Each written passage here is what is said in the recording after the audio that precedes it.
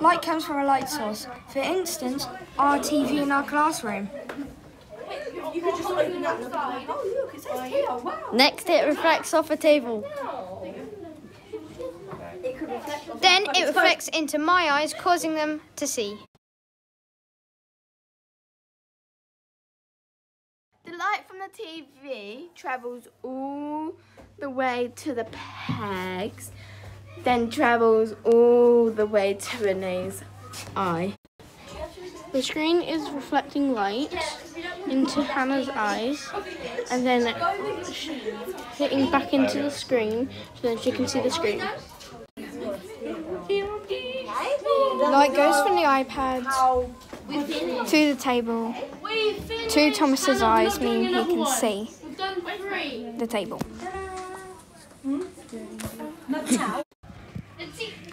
The light bounces off of here, follows the beam of light all the way to the peg, reflects off the peg into that.